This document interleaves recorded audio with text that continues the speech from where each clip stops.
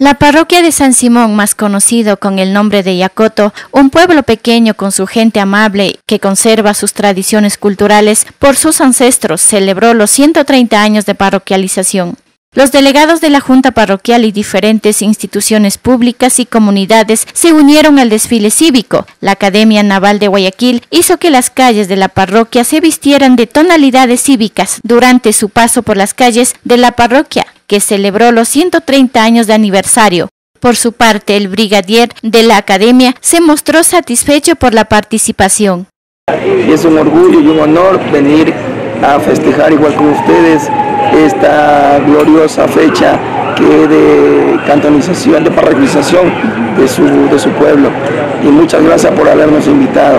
Somos de la Academia Naval Guayaquil. Luego del mismo se cumplió la sesión solemne, donde las autoridades parroquiales y públicos mostraron su gratitud.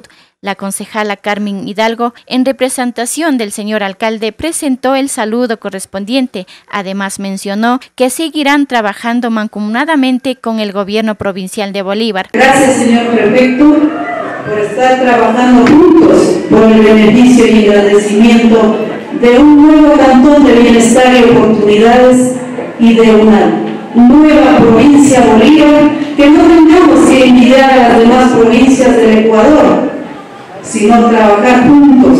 Esa nuestra administración, que no es, digo nuestra, porque es responsabilidad de todos ciudadanos y ciudadanas de la ciudad y Cantón Grande y de la provincia de Bolívar, animar el hombro y trabajar juntos por el beneficio y bienestar de todos los pobladores. Por otro lado, Vinicio Coloma, prefecto de la provincia, indicó que trabajará por las parroquias y comunidades en el asunto de la vialidad, que es su prioridad.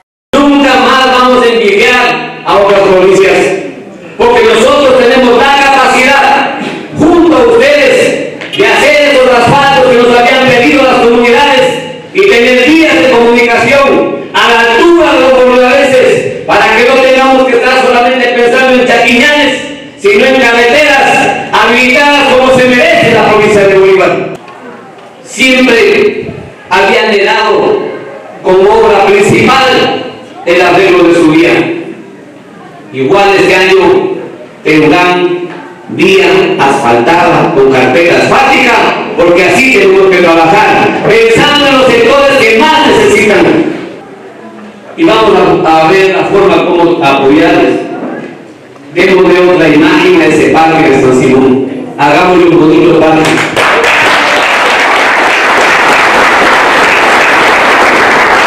Pareciera que no es tan necesario, pero es necesario. Los parques es el espejo de una ciudad.